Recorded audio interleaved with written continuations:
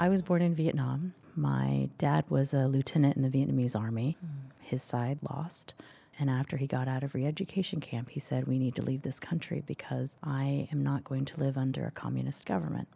So he bought a boat, learned how to become a fisherman, and one day called my mom to come down, not say anything to the rest of the family, and just get on the boat.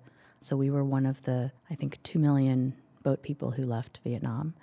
And eventually we resettled in Knoxville, Tennessee. Wow, you have a really interesting background because I literally work across the street from the hospital I was born in. That's wonderful, right? yeah, so just getting on a boat and going to a totally different place, that's pretty amazing. Your parents had a lot of courage to do that, I think. Yeah. And then to settle in Tennessee. I think that's the reason why we were able to make it. We were one of the first Vietnamese to show up in Knoxville, Tennessee, but they opened their arms and gave my parents jobs as house cleaners and gardeners, pretended to like the smelly spring rolls and fish sauce that my mom would give as gifts. So I think being resettled in Knoxville gave me a really good sense of what this country is and how if you give people a little bit of a leg up, then they can sort of find their own way.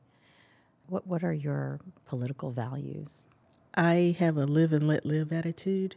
It seems like there are too many people who are trying to impose their beliefs or values on others. Do you feel like people misunderstand you? Yes, and it's intentional. I do tend to keep things close to vest because I don't want to be pigeonholed. Mm. I have to say, I really appreciate that you don't want to be pigeonholed in any certain way. Yeah. What are you most hopeful about?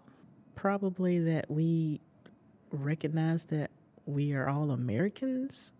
I saw Maya Angelou before she died, and she described the United States not as a melting pot, but as a gumbo. And I really like that because we are all individuals, but we're in one pot. And as we work together, it makes ourselves better mm-hmm. and the whole dish, the whole country better. That's so beautiful. that's my, my hope.